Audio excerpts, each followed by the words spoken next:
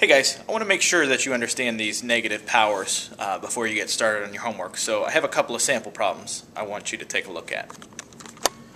First problem here is 4 to the negative third power. Now remember, anytime we have a negative power, it's the same thing as writing 1 over 4 to the third. I just take the negative, get rid of it, and I make a 1 over my original power equation. So 1 over 4 to the negative, or I'm sorry, 1 over 4 to the third is the same thing as 1 over 4 times 4 times 4, or 1 over 64.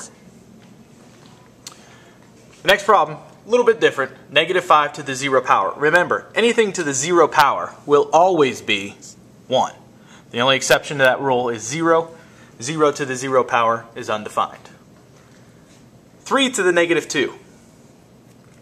Anytime I have a negative exponent, I'm going to make it 1 over, I just write the same thing, 3 squared. 3 squared is 9. 3 to the negative 2 power is 1 over 9. 6 to the negative 1 is the same thing as saying 1 over 6 to the first. 6 to the first power, is 1 over 6. And finally, what happens if we have a negative base raised to a negative power? Same rule applies with this negative. I make it 1 over, keep the base, keep the exponent. Negative 4 squared. Negative 4 times negative 4 is 16. 1 over 16 is my answer. Okay, now we'll make things a little bit more complicated by using the alphabet with math. For example, x to the negative 9 power. Same rule still applies when I have a negative exponent. It's 1 over x to the ninth. Now I can't solve this because I don't know what x is, so that's in simplest form. What if I have 1 over n to the negative 3 power? We talked about this yesterday in class. The n to the minus 3 becomes 1 over n to the third. So 1 over n to the third. But you can't have a fraction as my numerator or my denominator. So in order to get rid of that, I have to multiply by the reciprocal, n third, n to the third over 1, and whatever I do to the bottom, I have to do to the top. n to the third, these cancel out to a 1. 1 times n to the third is n to the third over 1 over 1. This just simplifies. Like I said yesterday, anytime we have 1 over n to the minus something, it will be n to that power. Math is so cool. In a problem like this where it's 4c to the negative 3 times b. I have to simplify uh, this c to the negative 3 because it's not quite right. So it's 4, c to the negative 3 is the same thing as 1 over c to the third times b. And from here it's just a simple multiplication problem. 4 times 1 times b, so it's 4b over c to the third. 4 times c to the negative third power times b simplifies to 4b over c3. Here I have 2 divided by a to the negative 3.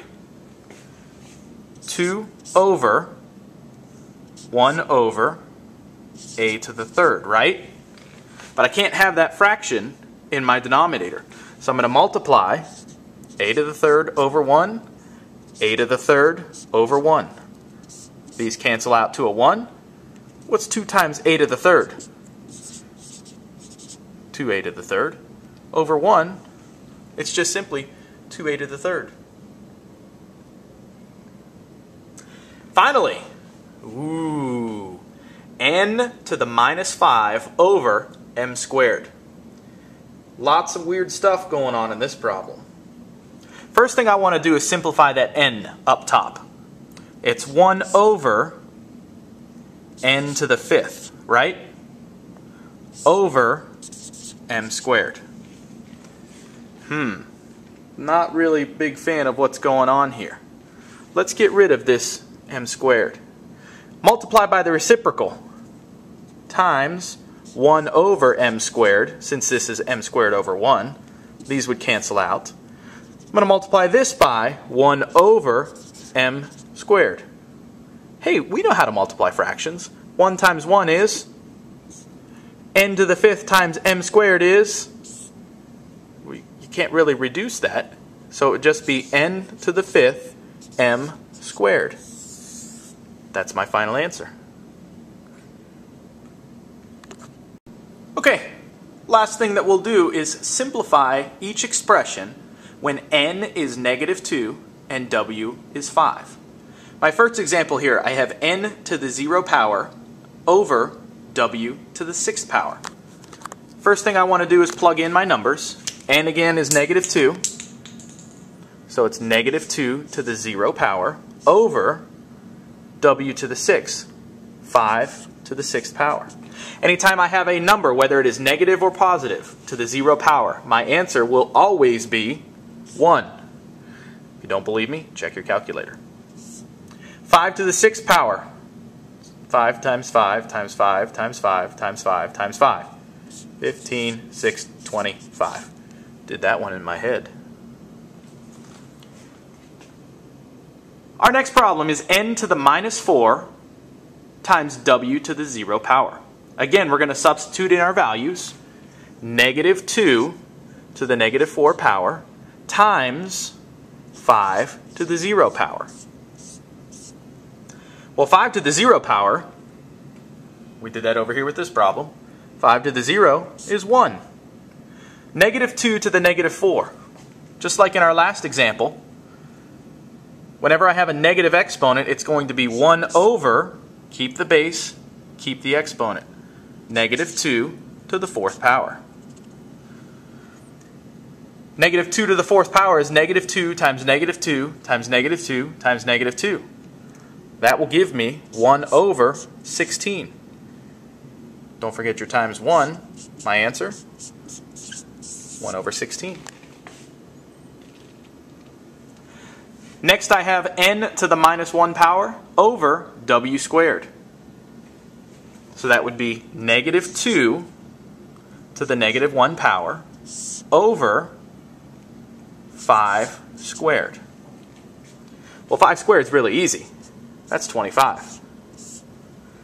Negative 2 to the negative 1, that would be, if I follow my rule, 1 over negative 2 to the first power. Well, like I said earlier, you can't have a fraction as part of your fraction. You can't have a fraction in your numerator or in your denominator. So let's get rid of this 25. Multiply by the reciprocal. What's the reciprocal of 25 over 1? 1 over 25. Now you might be asking, why did I do the 25 and not the 1 over negative 2 to the first? Because anytime I get this, it's going to cancel out and give me something over 1. So let's see here. 1 over negative 2 to the first power is the same thing as just negative 2. That's just a fraction we can multiply. 1 times 1 is 1. Negative 2 times 25 is negative 50. Mrs. Slifka, you can't have a fraction over a fraction. Yeah, but we're dividing by 1, so let's just get rid of it. 1 over negative 50. My last problem here says 1 over nw to the minus 1. So if I rewrite this, it would be 1 over negative 2 times 5 but that whole thing has to be raised to the negative 1 power. So it's 1 over. Negative 2 times 5 is negative 10 to the negative 1 power.